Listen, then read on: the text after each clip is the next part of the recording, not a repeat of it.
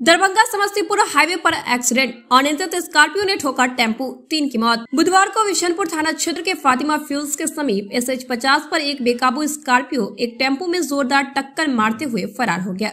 इस दुर्घटना में टेंपो अनियंत्रित होकर 20 फीट गहरे गड्ढे में पलट गया, जिसमें टेंपो सवार दो लोगों की मौके पर ही मौत हो गई, जबकि पाँच लोग गंभीर रूप से घायल हो गए, जिन्हें वहाँ मौजूद लोगों ने उपचार के लिए डीएमसीएच पहुँचाया।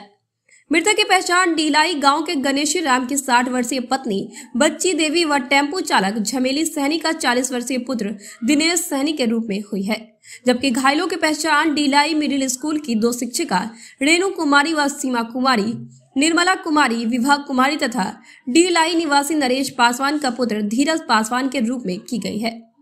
निर्मला एवं विभा को प्राथमिक उपचार के बाद घर भेज दिया गया। इधर मृतक के परिजनों का रो रो कर बुरा हाल बना हुआ है। समाचार प्रेषण तक स्थानीय लोगों ने मुआवजा की मांग को लेकर साढ़े तीन बजे से पाँच बजकर बीस मिनट तक करीब दो घंटे सड़क जाम कर आवागमन बाधित कर दिया। विशनपुर पुलिस ने पूर्व जिला पार्षद रघुजीत पासवान समाज सेवी बबलू सहनी पूर्व प्रमुख जयकिशोर यादव आदि लोगों के सहयोग से भीड़ को समझा बुझाकर आवागमन बहाल कराते हुए दोनों शवों को उठाकर थाना ले गए। हम लोग तारालाही में थे। हम लोगों का पार्टी का सदस्यता अभियान का कार्यक्रम चल रहा था। जैसे समाप्त हुआ है, वहाँ से निकल रहे थे तो मालूम चला कि बिलाई में एक्सीडेंट हुआ है। तुरंत उसका वहाँ के लोगों से खबर लिए तो पता चला जो दो का स्पॉट डेथ हो गया है। और पाँच छः लोग सीरियस घायल हैं।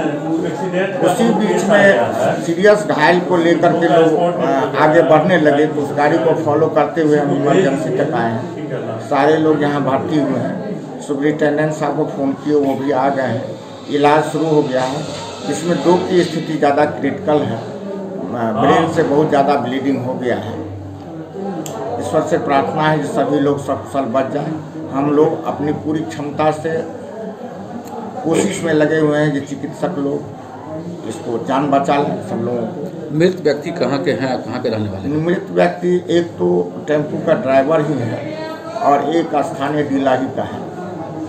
दोनों एक साहनी परिवार से है एक राम परिवार से है। दोनों ही नहायत गरीब परिवार से हैं और दोनों की स्थिति ऑन स्पॉट हो गया। ये घटना कैसे घटी? कौन कौन सी गाड़ी टकराई? टेंपू से ये लोग जा रहे थे। पीछे से ट्रक धक्का मारा है। टेंपू कई राउंड पलटते हुए गड्ढा में चला गया। उसी दरमियान में दो लोगों की मृत्यु हुई है ये लोग घायल। कितने लोग कुल घायल हैं? अभी तक तो यहाँ पाँच छः लोग आ चुके हैं। सबका इलाज चल रहा है। हम्म। और और जो छोटा मोटा था वो तो उधर ही है। लोग कुल मिलाकर के सभी चिकित्सक लोग प्रयासरत हैं जो सब लोगों को बचाने में। और मैं सुपरिटेंडेंट साहब से रिक्वेस्ट किया वो अपने भी कैंप किए हुए हैं। ये अच्छी बात है जो कि मानवता का सेवा एक एक्सीडेंट हुआ है मैं यहाँ क्या है? हमारे हिसाब से यहाँ छः मरीज़ रहे ना। छः मरीज़ आए हैं, जिसमें दो मरीज़ की स्थिति थोड़ी नाजुक है। और फ्रैक्चर भी है, और उस पर ललाट पर भी चोट है, दांत का हड्डी भी लगता है, टूटा हुआ है।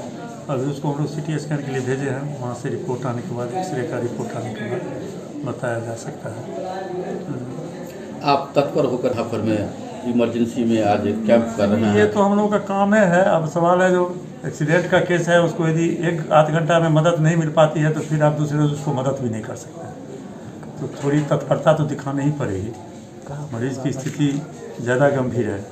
सुनते हैं तीन मरीज़ की मौत भी हो गई है इस वक्त। ऐसा कुछ में दो। दो। हाँ दो की मौत भी हो गई है। इलाज हो रहा है देखिए। आपकी पूरी टीम लगा हुआ है। कितना बजे की सर घटना है? हमको लगता है साढ़े तीन तीन साढ़े तीन की घटना है। अभी तीन पेशेंट जो आपके एडमिट है उसका कंडीशन क्रिटिकल है या क्या कुछ है? है।